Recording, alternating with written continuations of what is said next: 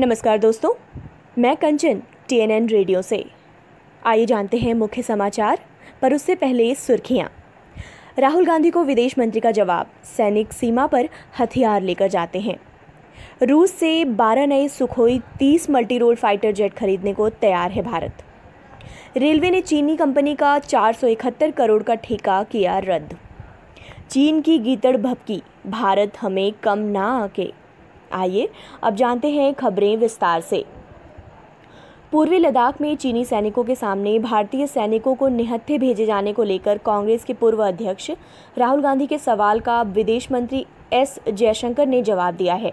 केंद्रीय विदेश मंत्री डॉक्टर एस जयशंकर ने जवाब देते हुए कहा है, आइए हम तथ्यों को समझते हैं।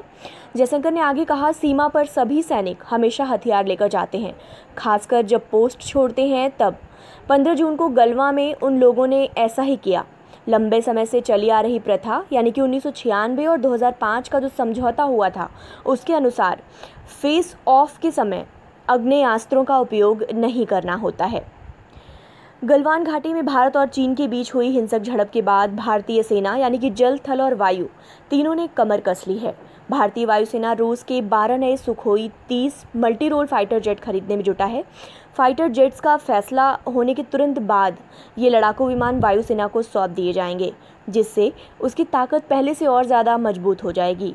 रूस से सुखोई 30 के अलावा मिग 29 लड़ाकू विमान के अतिरिक्त स्क्वाड्रन हासिल करने पर चर्चा कर चुके हैं। इस सौदे के लिए भारत के आग्रह पर रूस ने काम करना भी शुरू कर दिया है।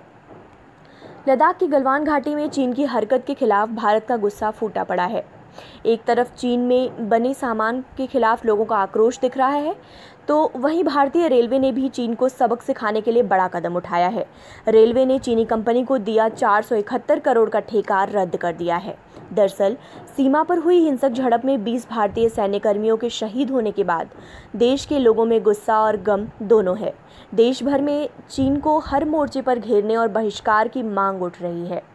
पूर्वी लद्दाख में भारतीय और चीनी सैनिकों के बीच हुई झड़प को लेकर, जहाँ पूरी दुनिया ने चिंता ज़ाहिर की है तो वहीं चीन की अब भी हेकरी दिख रही है। उसने एक बार फिर भारत को आँख दिखाते हुए गंभीर आरोप लगाए हैं।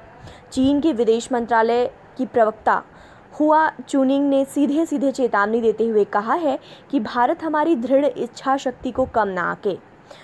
चुनिंग ने वीरवार को ट्वीट कर लिखा है कि भारत लद्दाख में हालात को बिगाड़ रहा है।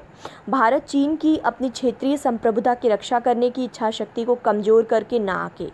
उसने आरोप लगाया है कि भारत में फ्रंट लाइन पर तैनात जवानों ने आम सहमति को तोड़ा और वास्तविक नियंत्रण रेखा यानी कि एलएसी को पार किया। इसके बाद जानबूझकर चीनी अधिकारियों को उकसाते हुए हमला किया, जिस वजह से इतने ज़्यादा सैनिक हताहत हुए। आज के लिए इतना ही। कल फिर मिलूँगी आपसे टीएनएन रेडियो में। तब तक के लिए दीजिए अनुमति अपनी दोस्त और होस्ट कंचन को। नमस्कार।